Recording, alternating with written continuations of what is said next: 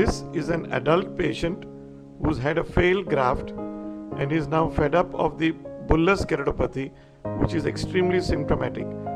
She wanted only pain relief, but she also wanted cosmetic relief from the white eye because she said people keep on looking at her eye. So, in this patient, a combination of corneal tattooing and conjunctivoplasty was done. Here, the black ink is put onto the cornea after scraping the epithelium and removing the loose sutures. And with the tattooing gun imported from China, the tattoo ink is pushed through into the stroma. Just a single drop is sufficient. In fact, the excess material is cleaned away with a cotton swab. Copious wash is done to ensure that the material is not just sitting on the surface but is actually penetrated. So, the procedure is repeated at least three or four times, and care is taken to push the cotton swab over the cornea itself, not only around it but also over the cornea. So, excess dye which is on the surface is removed, and we ensure that the black color that we see is only dye which has penetrated into the stroma. So, this is the important step where the cotton swab is rubbed across the surface of the cornea. As you can see, we are repeating this multiple times with wash if necessary, if we find gray areas still persisting, we may put another drop of the dye. Usually, one or maximum two drops is all that is required. Copious cleaning is done from time to time. The tattooing gun has been enclosed with a cloth, sterile cloth, to make it sterile. And before we started the tattooing, it was important to test it before we put the dye. We had used the tattooing gun just on the bare corneal stroma to see the needle from the tattooing gun penetrating the stroma. We have now done with the tattooing. Now a 360 degree mark is made with the Bard Parker knife around the limbus. This patient is not going to require any other procedures later, so you can sacrifice the limbal stem cells as well. The with a Westcott scissor now the conjunctiva is opened all around. It had been ballooned up earlier with a local anesthetic. So 360 degrees the conjunctiva is opened. You need a good assistant in a Gundersen's flap conjunctivoplasty procedure because the assistant has to lift up the conjunctiva. So far I've been doing all this by myself. But once the conjunctiva is open 360 degrees, taking care, of course, to see that the muscles are not touched. The assistant lifts up the conjunctiva towards the sky and away from the limbus, while I, with a Lim's forceps and a Westcott scissors, remove the subconjunctival fibrous tissue. It's not only dissected off the conjunctiva, but it is actually cut.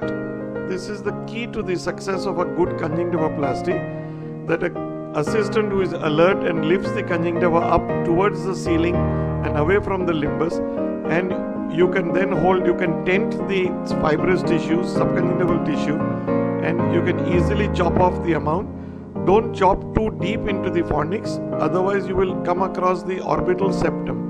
Cutting the orbital septum will cause the or suborbital fat to herniate causing a very poor cosmesis. So the assistant then drops the conjunctiva and lifts it up in an adjacent area and we repeat this careful dissection after tenting up the subconjunctival tissue and chopping off this material. Care is taken not to buttonhole, but as we will see, if a buttonhole occurs, it's not the end of the world.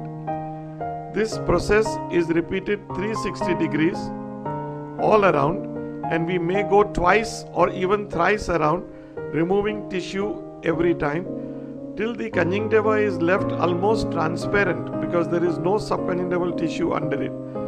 The bleeding is not cauterized, just washed away or cleaned with a cotton swab.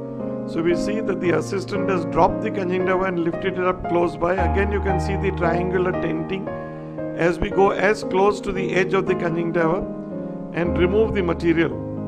The subconjunctival tissue is cut away taking care that muscle is not caught in this.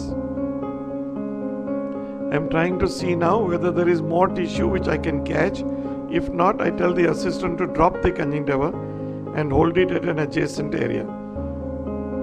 So when you pull, you must see to it that there is no buttonholing occurring. Here I, am able to pull some strand. When you get a strand, immediately hold it and chop off, starting from just near the edge of the conjunctiva. Remember that the orbital septum is closer to the limbus in the inferior part, so you may not go too deep in the inferior fornix as you would go in the superior fornix. Here, of course, we go 360 degrees because we don't know where buttonholing, if at all, will occur and which conjunctiva is loose and will come. So we may normally we pull the conjunctiva down from superior to inferior, but at times I've moved it from temporal to nasal or nasal to temporal, depending on the laxity of the conjunctiva. Sometimes the adhesions are too stiff, so we might have to do it from nasal to temporal also. Here now the nasal area is being held. Not too much dissection is done on the nasal side because the medial rectus is fairly close.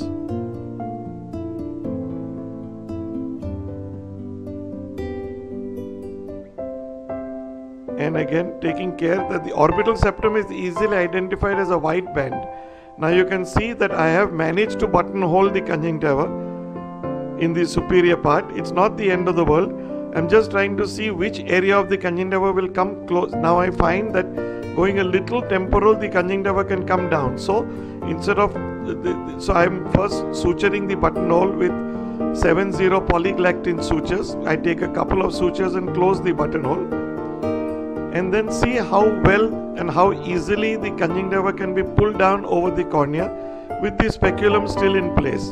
Then I make scleral incisions in this case around 4 and 8 o'clock positions in the sclera and pass a mattress suture usually with 6 polyglactin suture on both sides and the conjunctiva gets easily sutured at the mattress with the mattress sutures.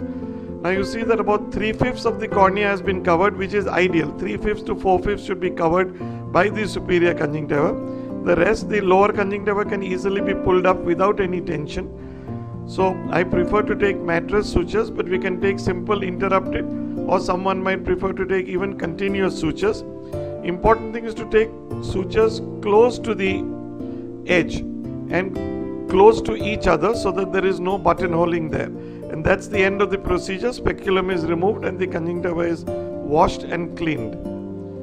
Thank you so much for your attention.